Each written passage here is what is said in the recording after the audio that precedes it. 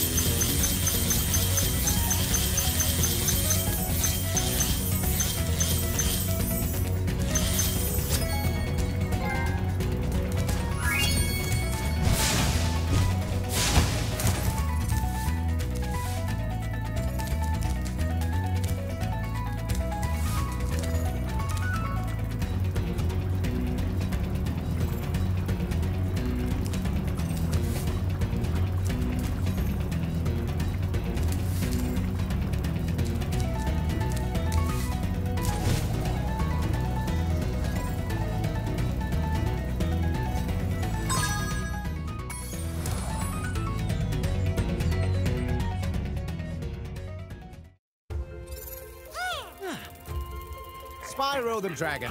You defeated Gnasty Gnorc, collected the dragon eggs, saved all the dragons, and recovered every bit of treasure in the Dragon Kingdom. How do you feel? I feel fired up, Bob. And I'm happy for the dragon world, of course. I certainly wouldn't want to spend the rest of my dragon days butting heads with Gnasty Gnorc and his weird minions. What's a minion? Uh, never mind. You know what they say. For every good battle, you need a good adversary. And I felt that Gnasty, in spite of his misguided nature, was a worthy opponent. Uh-oh. Here we go again.